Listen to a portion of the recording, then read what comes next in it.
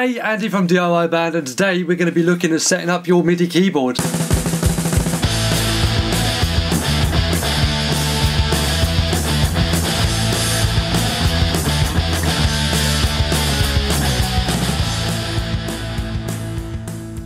Hi guys, right here we go. We are going to be looking at installing this thing here. So I've taken the liberty of finding which way up my USB goes already and plug that in. Uh, so let's plug this in. It's a good noise. We have a light. We have light that moves.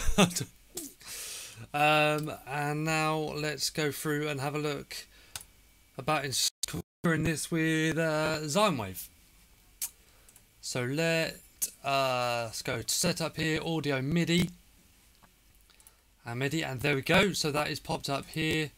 Uh, well, Panda Mini, which is the keyboard that I have, or MIDI controller, or whatever it is you wish to call it.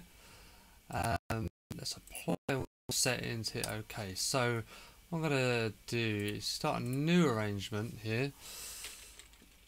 Um,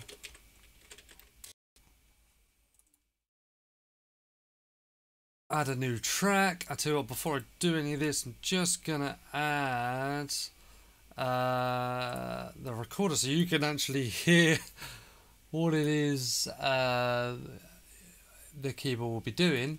Chuck that to Voicemeeter, hit start, boom, lovely. Okay, so um, so in here now, if I hit MIDI input and choose a VST, so source, we use instruments, let's use good old keyboard. Straight out of the box.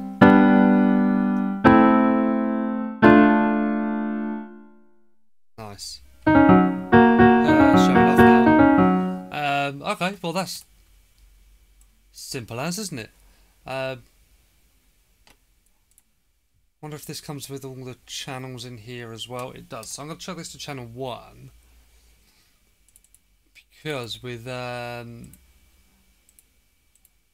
with keyboards that have a pad, uh, you'll usually find that they are sending a signal through channel 10.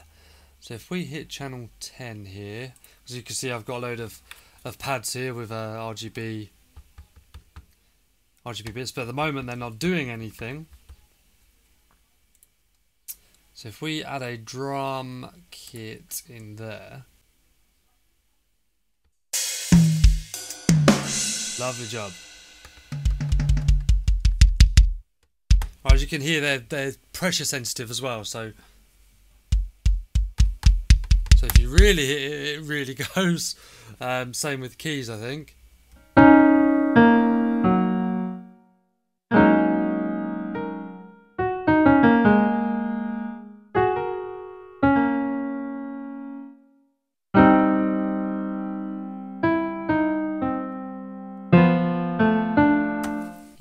Great, great keyboard skills here. So there's a couple of buttons here which I would assume changes uh, the uh, part of the piano you're playing. So let's do a C. Yeah, exactly that.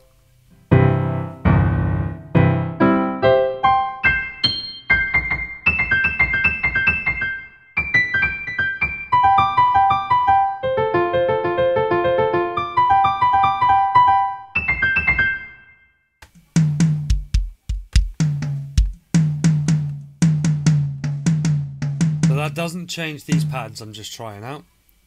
Um, so these pads will, I assume, be focused on a certain note. So if we have a look in here and settings, so we can see the snare there, that'll be hitting this then. So D1 is what it will be assigned to, or 38.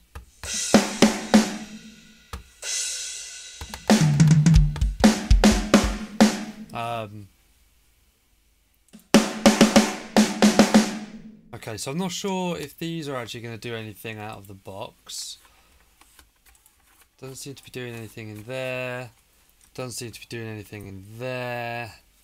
Okay, so out of the box they are don't they don't seem to be doing anything. Um, I did see if you, you could change the colour of these pads. So if you hit CC mode and then push your arrow, you got pink, blue, well cyan, yellow, white, green, red, proper blue, and that's the end of it there. Um, I've not used a, well, I've not owned a MIDI keyboard before, so I can't tell you whether it's good or bad or or what. It is a cheap option. It's not one of the expensive expensive ones. Um, but for what I need it for and how often I'm going to use it, it's going to be pretty okay. I think I just need to. Be, it's just much easier than having to key in everything like manually. I can just. Uh, well, what I could do is I can just hit record and maybe zoom out.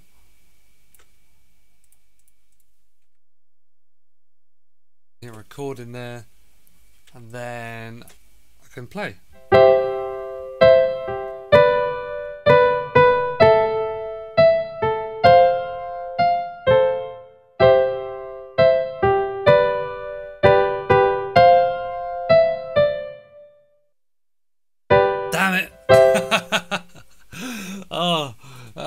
so, um, so then that's recorded it, and then what I could do is I could go into here, and then I could like quantize everything to a 13, uh, 1 32, quantize, which doesn't actually sit right. So let's quantize that to the start of the bar.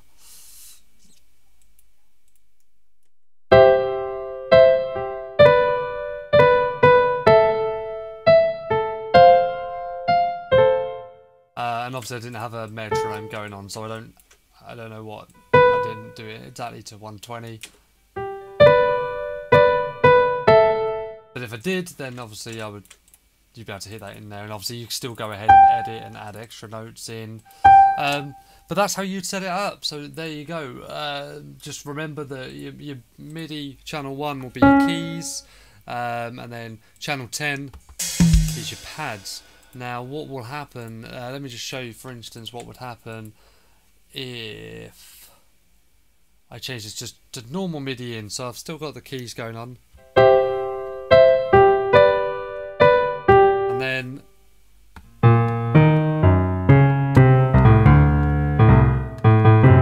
it's no good to anyone really.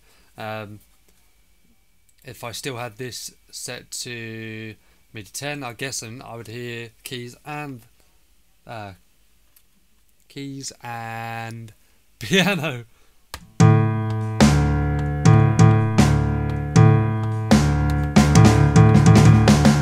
Which is uh, useless as well. So we'll chuck that in number one, then we're all good to go, so we can have both.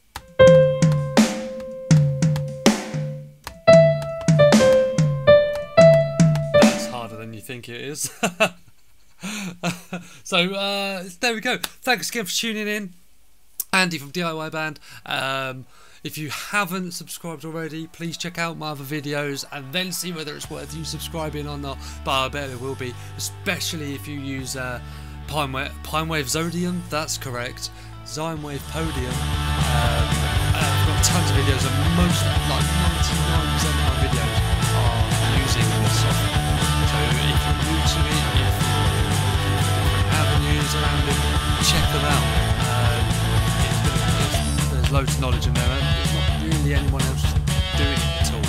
Um, so most of the videos, if you search for Zymo Podium, you'll find mine ones. Uh, so why not be the first one to see them by subscribing? Uh, thanks again, and DIY Band. See you next